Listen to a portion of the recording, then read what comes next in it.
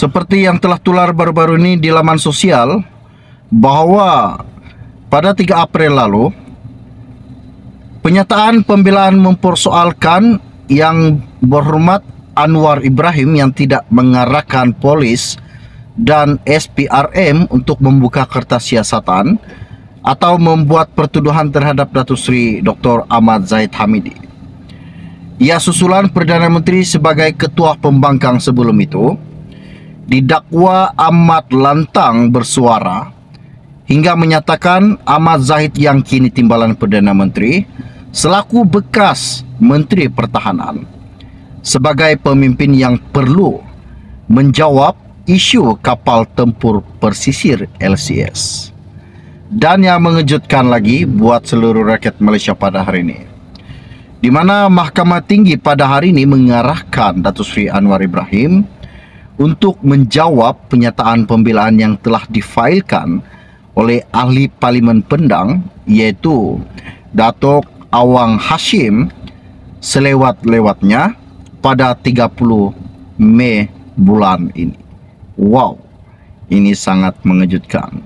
Mungkin ramai yang telah tahu dan mungkin seperti yang telah dinyatakan di laman sosial bahawa Awang Hashim ada mengatakan yang Anwar ini lebih berdendam berbanding bekas Perdana Menteri yang pernah menjadi Perdana Menteri selama 22 tahun dan 22, 22 bulan iaitu Tun Dr. Mahathir Mohamad.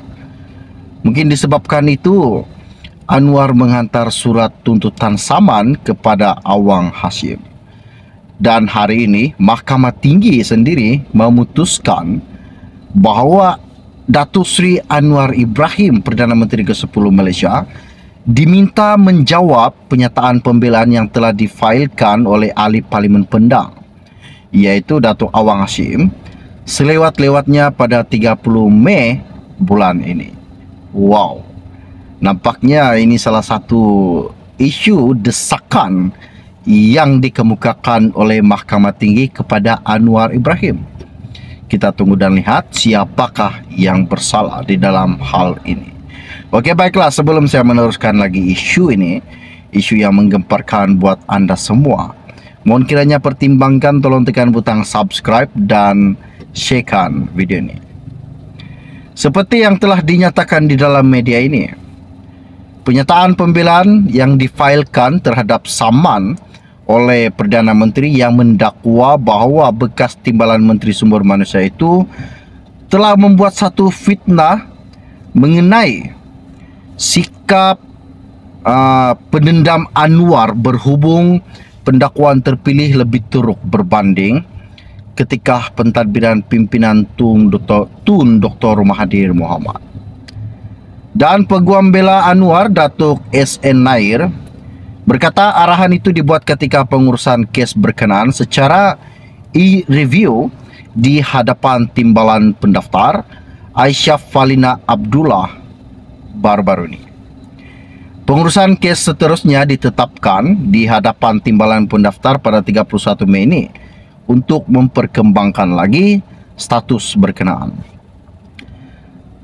Anwar selaku plaintiff yang diwakili peguam Jedin Pon Wai Ken dan Wong Guo Jin.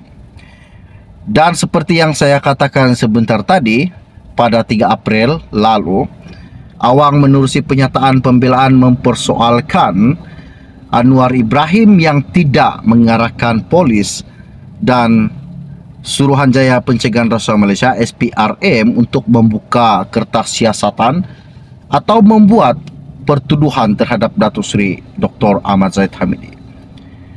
Berkaitan dengan susulan bahawa Perdana Menteri sebagai ketua pembangkang sebelum itu didakwa amat lantang bersuara atas Menteri Pertahanan iaitu Ahmad Zahid yang kini selaku timbalan Perdana Menteri sebagai pemimpin yang perlu menjawab isu kapal tempur persisir LCS yang dikatakan bahawa ada berlaku keterisan berkaitan dengan projek kapal tempur persisir LCS.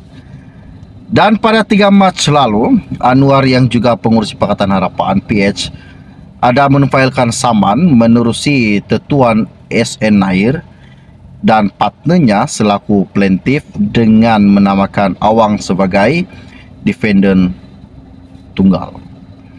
Berdasarkan pernyataan tuntutan tersebut, Anwar ada mengatakan defendant dengan sengaja menfitnah walaupun uh, plaintiff sudah menafikan secara terbuka dan pada realitinya tidak mencampuri tugas serta kuasa agensi, penguatkuasaan dan jabatan peguam negara. Dan oleh itu juga, katanya, dakwaan penyiasatan penguatkuasaan dan pendakwaan terpilih tidak mempunyai kebenaran palsu, tidak berasas serta berniat jahat. Anwar Ibrahim berkata, Defendant menyadari sepenuhnya komitmen plaintiff yang dibuat kepada masyarakat umum beberapa kali mengenai hasrat dalam membasmi rasuah dan sokongan penuh terhadap kebebasan institusi penyiasatan, pendakwaan serta badan kehakiman. Namun di dalam isu ini yang mengejutkan buat seluruh rakyat Malaysia di mana salah satu pendedahan yang mengatakan bahawa Ahmad Zahid yang kini timbalan Perdana Menteri dan bekas Menteri Pertahanan sebagai pemimpin yang perlu menjawab isu kapal tempur persisir LCS.